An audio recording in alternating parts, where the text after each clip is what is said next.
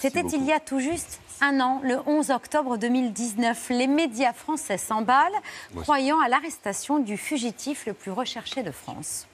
Après plus de huit ans de cavale, c'est peut-être la fin de l'une des plus mystérieuses énigmes criminelles de ces dernières décennies. Xavier Dupont de Ligonnès, l'auteur euh, de la tuerie de Nantes, c'était en 2011. Une source anonyme aurait informé la police écossaise que Xavier Dupont de Ligonnès allait monter dans un avion depuis l'aéroport de Roissy-Charles de Gaulle.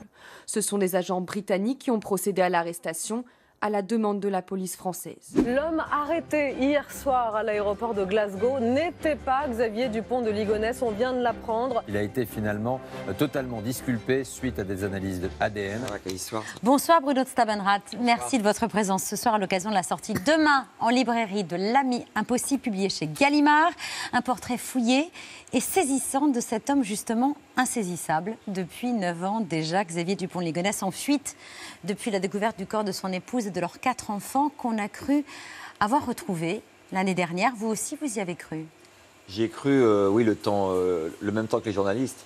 Mais en même temps, euh, il y avait des éléments qui étaient. Enfin, on voulait un visage, quoi. Et dès qu'on a vu le visage de Joao, vous avez su que c'était pas lui. Quoi.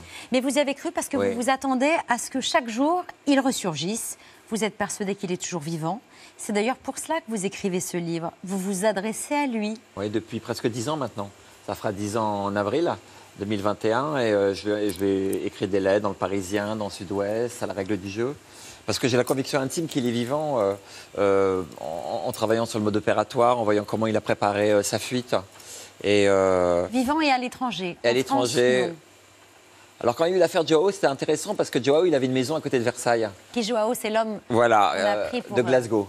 Et je me suis dit, tiens, finalement, on le cherche au bout du monde et s'il était finalement pas loin de sa mère Puisqu'il y a toute cette histoire avec Philadelphia, le groupe de prière. Euh, On va y revenir. Voilà. C'est une intime conviction, rien d'autre? Vous n'avez pas d'éléments précis Personne n'en a. Qui étaye cette conviction? Personne n'en a, non, c'est une conviction intime. Et je pense que dans les affaires criminelles, euh, la conviction intime, l'intuition, euh, c'est fondamental. Hein. c'était quelqu'un du côté de la vie, c'était quelqu'un solaire, Xavier, malgré tous les crimes, enfin tout ce qui s'est passé. C'est-à-dire qu'il n'avait pas envie de mourir.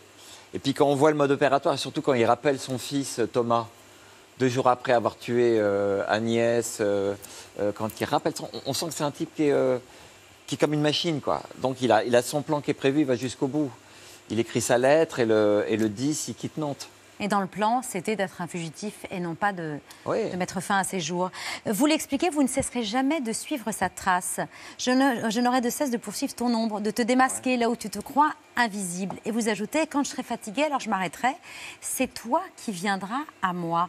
Et vous vous préparez vraiment, est-ce qu'un jour, Xavier Dupont-Ligonnès frappe à votre porte? Il faut, bah, il faut tout envisager, oui. Oui, parce que je pense que moi, je garde. C'est pour ça que c'est l'ami impossible. C'est-à-dire que moi, j'ai gardé le souvenir, d'un garçon. Euh, euh, avec une certaine noblesse, un, vrai copain. Quoi. Quand j'ai mon accident de voiture, il était là. Donc, euh, et puis tout d'un coup, il y a ce Xavier Dupont. Moi, je l'ai jamais appelé Xavier Dupont de Ligonnès. Le Dupont de Ligonnès, il arrive quand, la police, en 2011, lance un avis de recherche. Ils prennent la carte d'identité, il s'appelle Xavier Dupont de Mars de Ligonnès. Mais moi, mon ami, il s'appelle Xavier de Ligonnès. Donc Xavier Dupont, je ne le connais pas. Mais je voulais, hmm. je voulais, si vous voulez, rendre hommage, enfin rendre hommage, entre guillemets, à cette amitié. Vous avez gardé euh, l'espérance et aussi l'espoir de la justice, c'est-à-dire ah qu'il puisse s'expliquer.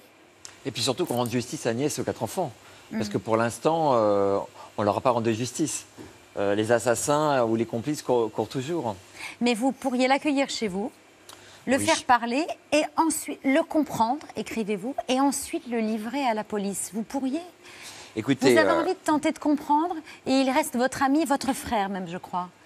Vous savez, la première question que je me suis posée quand, j'ai eu connaissance des crimes, c'est euh, quand vous aimez quelqu'un d'amour ou d'amitié, que vous vous engagez vis-à-vis de cette personne, est-ce que vous fixez une limite? Moi, je pense que non. Moi, mes parents, ils m'ont élevé, euh, euh, quand on a un ami, un amour, on va jusqu'au bout.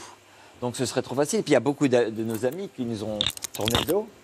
On dit cette histoire est horrible, allez, on met la, poussière sous le tapis. Et, mm. et moi, j'ai pas voulu. Et puis je pense que c'est important d'avoir une vérité c'est-à-dire de son d'Xavier, de, comprendre, ne serait-ce que pour la justice et même pour l'humanité, de comprendre pourquoi un homme franchit une frontière, un homme décide de devenir euh, l'assassin de sa propre famille. Si on n'est pas là pour, euh, pour être le, voyez, l'espèce de traducteur de, l'impossible.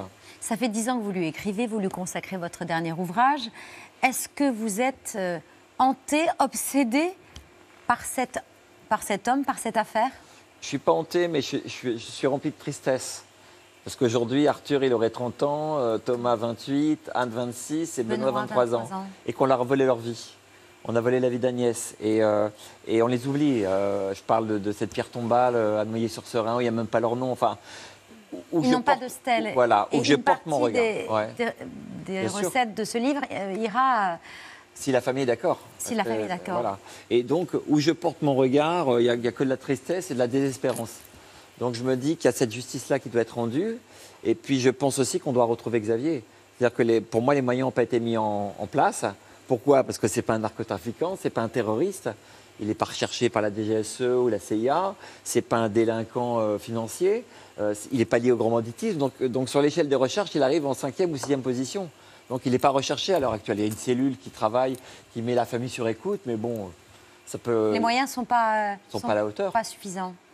Vous parlez euh, ni plus ni moins d'un coup de foudre amical quand vous vous rencontrez, ce qui éclaire un peu la, la façon dont vous soulignez beaucoup, vous rappelez beaucoup, vous décrivez les jours heureux. Mais il y a de temps en temps, pour nous, qui, se- Ouais. qui avons plus le crime en tête que les jours heureux, Bien sûr, euh, de bah temps en temps, il y a collision. Ah oui, et par sûr. exemple, vous, vous racontez que quand vous vous retrouvez la première fois, euh, vous rencontrez pour la première fois sur, le- dans- dans- sur les bancs de- du collège en 77, les premiers mots qu'il vous dit, même s'ils sont les bras ouverts, c'est « Bienvenue chez les fous Ah ouais. Ouais, oui, oui, parce que j'arrive d'un tournage, j'arrive d'un tournage, j'arrive de, de ma, de ma jeune vie d'acteur, et puis et puis il y a une table qui est au, au fond de la classe, qui est libre, et c'est il est à côté, quoi. Donc euh, on- on n'explique pas les, les, les amitiés d'adolescence, c'est parce que parce que c'était lui, parce que c'était moi. Donc euh, donc c'est important aussi. Enfin, les amis, on n'en a pas tant que ça. Voyez. Vous étiez fasciné Vous l'appeliez mon, mon Non, non. capitaine, mon Non, ça- prince Ça, c'est une, une connerie de la presse. Euh, non, non, euh, j'étais pas, Il n'y avait pas de fasciné. fascination. Il n'y a pas de fascination. On était des, des vrais amis. On avait Ouais. Elvis, les Beach Boys, les Cabriolets. euh, on avait tout ça en commun. Donc, euh, il n'y a rien de plus. hein. Marion. Vous racontez aussi l'emprise de sa mère, Geneviève, qui a fondé l'église de Philadelphie, un groupe de prière fermé, toujours actif aujourd'hui. Ah oui. Et soupçonné de dérive sectaire, une enquête préliminaire a été ouverte par le parquet de Versailles Ouais. il y a un petit peu moins d'un an. Vous dites que Xavier a été élevé en pensant qu'il serait l'élu, Ah celui qui sauvera le monde de l'apocalypse annoncé par sa mère. Pour vous, est-ce que c'est la secte de sa mère qui explique qu'il soit passé à l'acte? Est-ce que sans l'influence de l'église de Philadelphie, il n'aurait pas tué ses enfants? Ça, c'est une question qui est importante parce que moi, pendant 9 ans, j'ai essayé de retrouver des gens de la secte. Pour... Enfin, la secte, c'est un groupe de prière fermé. Ce n'est pas une secte parce que c'est une secte qui a échoué. Ils auraient pu réussir, c'est ce que j'explique dans le livre. Ils avaient tout, euh, la messagère, le Shannon Ridolfi, euh, euh, les messagers, les Ils n'ont jamais adeptes. voulu vous rencontrer. ouais. Ça n'a pas marché, ça n'a pas marché, et, et- et j'explique ça, euh, pourquoi. Et, j'ai voulu aussi analyser la, toxi- la toxicité de, de cette éducation religieuse terrible sur Xavier, puisque euh, en 95, tout s'écroule pour lui. Parce que Xavier, en fait, j'ai compris que pendant des années, euh, et c'est pour ça qu'on était copains, c'est un, un garçon cool, agréable, qui voyageait tout le temps, c'était un pigeon voyageur, mais en fait, il pensait qu'il allait faire un héritage. Il a été élevé pour ça. Il allait avoir une espèce d'apocalypse et il serait l'élu. Enfin, c'est comme quelqu'un qui va toucher un, un héritage colossal. Et en 95, Jusqu'au euh, il y, a, il y a- il y a- il y a ceux qui se réunissent à Rennes, euh, au, au château des, de- des gens de la secte, et puis Xavier, lui se réunit à, à Saint-Maxime. Et j'ai eu des témoins qui étaient là. Et en fait, il va vraiment croire que Il y Que- croyait. Vraiment. Et, euh, et- et quand j'en parle avec Emmanuel Teneur, donc, qui était son meilleur ami pendant 37 ans, qui hélas est mort en, en janvier dernier, euh, il, il- il- dit à Xavier, Xavier, est-ce que je peux libérer ma parole? Déjà, rien, que- rien que la phrase. Xavier, tu penses réellement qu'il va, qu'il va ressusciter Et Xavier répond oui. Et donc, c'est à ce moment-là où nous, on se rend compte que c'était grave, en fait. C'était grave et que l'influence de la mère, elle était terrible. Maintenant, est-ce que c'est un motif religieux qui a poussé Xavier au crime? Est-ce que c'est la... On ne peut pas savoir, mais moi je pense évidemment que ça fait partie du mobile. Vous avez cette euh, expression qui fait frémir, vous parlez de crime altruiste. Bah, c'est les, cri- les, criminolo- les criminologues qui, qui en parlent de ça. C'est-à-dire que c'est un crime domestique parce que c'est un crime familial, comme il y en a une centaine par an en France. Et puis c'est un crime altruiste parce que la personne qui tue sa famille estime que c'est la meilleure solution pour eux.